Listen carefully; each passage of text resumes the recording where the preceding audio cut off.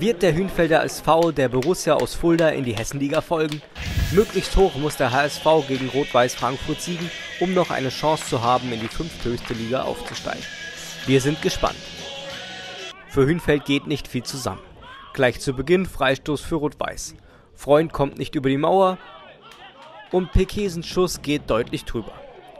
Kurz darauf die Gastgeber mit der ersten nennenswerten Gelegenheit. Simon setzt den Schuss in die Balken. Nächste gefährliche Situation durch Frankfurt. Einwurf von Anil Mus. Gensler sieht schlecht gegen Agötz aus, Außennetz. Die Gäste sind brandgefährlich. Budenz verliert den Ball und dann geht alles ganz schnell. Agötz hat zu viel Platz, nimmt Maß und lässt Good Ballett keine Chance. Das nicht unverdiente 1 zu 0 für die Gäste aus Frankfurt. Es läuft alles andere als nach Plan beim HSV, aber noch ist genügend Zeit. Krieger drüber. Die Abwehr der Hünfelder steht nicht sicher und kommt mit den schnellen, technisch starken Gegenspielern nicht zurecht. Der erste Fernschuss kann geblockt werden, aber der zweite sitzt. Da war Kutballett machtlos, das 2 zu 0 durch Anil Mus kurz vor der Pause. Die erste Aktion nach Wiederanpfiff gehört den Gästen. Agötz schickt Pekesen. Ganz cool, ganz abgezockt 3 zu 0 für Frankfurt. Jetzt wird es bitter für den HSV. Hünfeld hat nichts entgegenzusetzen. Die wenigen Schüsse auf das Tor von Takidis sind, wie dieser von Krieger, viel zu harmlos. In der 76. Spielminute werden die Aufstiegsträume des HSV dann endgültig zerstört. Der überragende Pekesen sucht und findet den eingewechselten Abdul, der macht das 4 zu 0, Hünfeld wird hier vorgeführt. Und fünf Minuten später bekommen die Gastgeber dann ihre Chance zum Ehrentreffer. Lundi bekommt den Ball hier an die Hand, Schiri Rabe entscheidet auf Elfmeter. Lukas Budenz nimmt sich der Sache an, 4 zu 1. Gejubelt wird dabei selbstverständlich nicht mehr.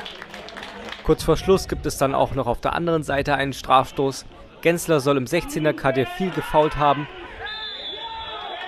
Patrick Barnes sucht sich die Mitte aus und markiert damit den 5 zu 1 Endstand. Ein rabenschwarzer Sonntag für den Hünfelder SV. Eine ordentliche Saison geht damit für Blau-Weiß zu Ende. Der direkte Wiederaufstieg bleibt jedoch aus. Johannes Götze hat den Abteilungsleiter des HSV am Mikrofon. Die Jungs haben sich heute was vorgenommen wollten auf alle Fälle äh, die Niederlage gut machen, aber die Qualität von Rot-Weiß Frankfurt war heute zu gut. Muss man neidlos anerkennen. Die haben eine Qualität vorne im Sturm, die einfach ja, maßgebend für so ein Ergebnis dann auch ist. Und hinten in der Abwehr wenig zugelassen. Also sie werden den Aufstieg in die Hessenliga mit Sicherheit packen, denn Kelsbach hat lange nicht die Qualität wie Rot-Weiß Frankfurt. Äh, das sehe ich ähnlich. Ähm Jetzt heißt äh, einfach auf die neue Saison blicken. Ähm, sagt man jetzt erst recht. Äh, nächstes Jahr geht man sicherlich als großer Favorit ins Rennen. Na gut, wir sind äh, in diesem Jahr gestartet mit unter die ersten fünf zu kommen. Wir haben den hervorragenden zweiten Platz gemacht mit Spiel um die Relegation. Äh, die Mannschaft ist jung, vor allem die Mannschaft bleibt zusammen. Es geht keiner weg vom, vom Stamm. Ja, und das ist doch eigentlich eine gute Voraussetzung, um nächstes Jahr anzugreifen. Und Borussia Fulda ist raus. Die haben die Übermacht dieses Jahr in der Landesliga gehabt. Und von Schwalmstadt muss man sehen, was da übrig bleibt. Und dann werden wir nächstes Jahr auf alle Fälle angreifen. Und ich lege mich nicht zu weit aus dem Fenster, aber Meister machen ist immer schöner als eine Relegation. Mehr Videos vom osthessischen Heimatfußball findest du in unserem Kanal. Einfach auf die Videoboxen klicken oder unseren Channel abonnieren.